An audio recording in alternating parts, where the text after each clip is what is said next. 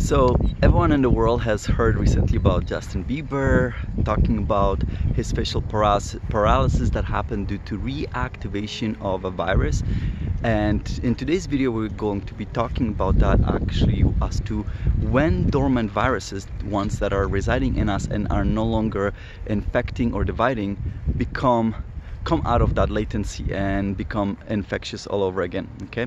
So before we get started I wanted to let you know um, that we have another COVID Q&A event coming up.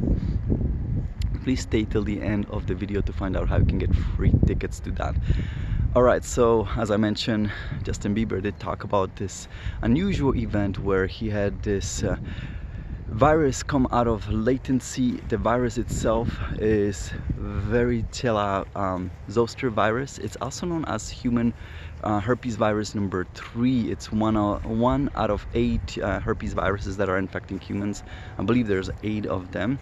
And basically that virus, when it infects you, it causes chickenpox.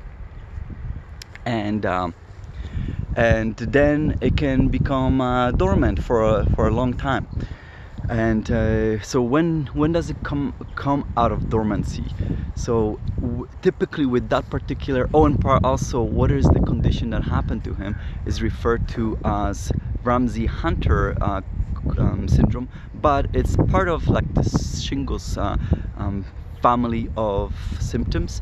So this particular virus when it comes out uh, it causes shingles and that basically means you have a rash that goes along the specific nerve that is being attacked by the virus and if it attacks the facial nerve then that's when it's referred to as uh, Ramsay Hunter syndrome which is rare. It, it happens in less than 1% so a big question is can vaccines cause it? And the answer is yes, it's been known that in the past and it's also been observed with COVID-19 vaccines. And the authors of one publication that discussed this had a very interesting comment with regards to this. They they proposed an interesting theory as to why this might happen uh, post-vaccination. And they mentioned is that possibly what happens is that post-vaccination you require production of so many T cells that it actually reduces the ability of the body to produce T cells needed to actually keep the virus down. Okay, so typically we have a pool of T cells called naive T cells.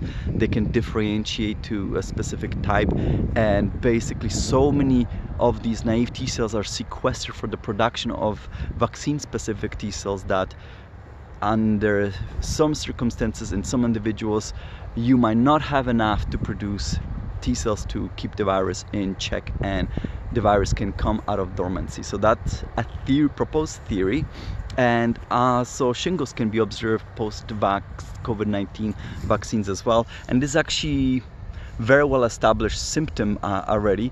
It hasn't been observed during clinical trials at all, so it didn't. It wasn't known. It's one of those um, effects that has been observed in long-term studies and in uh, one recent publication that involved more than a million individuals. So it's it's uh, it was a very large study. Um, they showed that the likelihood of developing shingles post-vaccine is uh, twice as high than in would be in a population.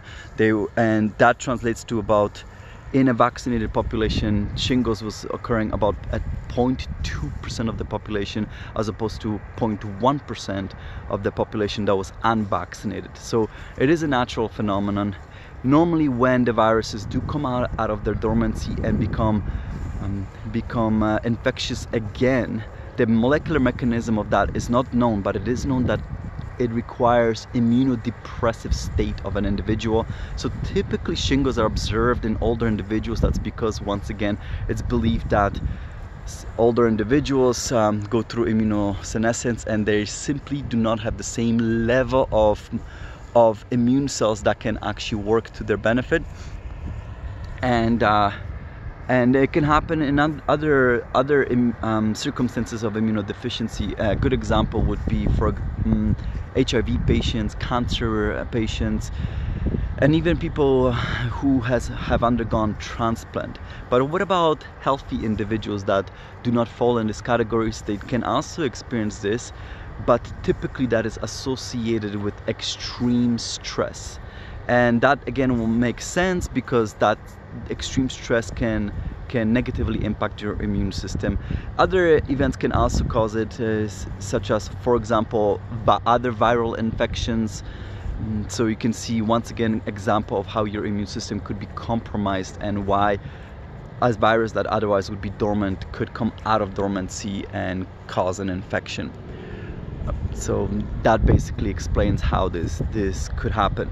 All right, if you're still uh, here, then let me tell you about COVID-19 Q&A. We have a, another one basically uh, for these events that are a lot of fun. We answer top 10 questions posed by our online audience. And after that, it's an open mic session for uh, uh the attendants, uh, attendees and uh, you can either ask questions or lately we're also getting more and more comments and they're turning out to be real fun educational sessions because we have uh, different experts in their own right coming out uh, to these and they oftentimes the discussion of revolves about natural ways of protecting your immune system. So that's really interesting as well. If you want free tickets to this the first 10 people who subscribe to Merogenomics newsletter will send you free tickets post post this video and the link to the subscription is in the description below. We have another event coming up. This is for business owners who would be interested in, in offering a proactive well-being program to their employees to make sure their employees can do their best. And basically me and two other experts got together where we discuss and teach about the different ways of how we can proactively take care of your your well-being. And we we discuss it from the point of view of financial well-being um, also mental health well-being and finally physical well-being which is my domain. And I also discussed how you can protect your uh, protect your health um, in relation to using genetic testing so interesting stuff.